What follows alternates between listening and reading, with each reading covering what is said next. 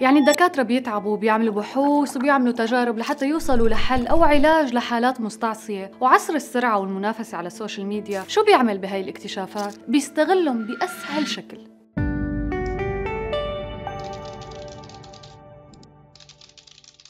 معركة الدهون وهوس التنحيف وصلت البعض لاستخدام طرق علاج ما بتخطر على بال حدا. طبعا هون نحن ما عم نحكي عن اتباع نظام غذائي أو diet لا الأمر وصل لاستخدام إبر طبية للتنحيف. وحديثنا اليوم عن إبر التنحيف. في كتير أنواع من الإبر تم اعتمادهم بشكل مرخص لعلاج مرضى السكري من النوع الثاني. المريض بيقدر ياخذ إبرة كل أسبوع ولكن وبقدرة قادر تحولت هاي الإبرة للتنحيف وظهرت نتائج مذهلة له كون الإبرة بتساعد على سد الشهية وتحولت هاي الإبرة على مواقع التواصل الاجتماعي وصفحات المشاهير لعلاج سحري تظهر نتائجه بشكل فوري. حتى صرنا نشوف دكاترة عم تحكي عنها وتروج لها هي الإبرة. طيب القصة هيك تمام؟ للأسف لا. لأنه أي حدث وقت بيتحول لترند نحن بنبطل نعرف الصح من الغلط وبتختلط علينا الأمور. بس الأكيد إنه لجنة الغذاء والدواء الأمريكية ال FDA اعتمدت هي الإبرة فقط لعلاج مرضى السكري. ولحد الآن ما انعطى أي ترخيص لاستخدامه للتنحيف وما تبين شو الأعراض الجانبية لاستخدام هذا النوع من الإبر. لهيك وقبل ما أختم أي نوع من النصائح اللي ممكن تتلقاها من استعمال إبر تنحيف على ال social media ممكن تهدد صحتك لو ما راجعت طبيب مختص وتأكدت من إنه الموضوع ما في أي ضرر ولا أعراض جانبية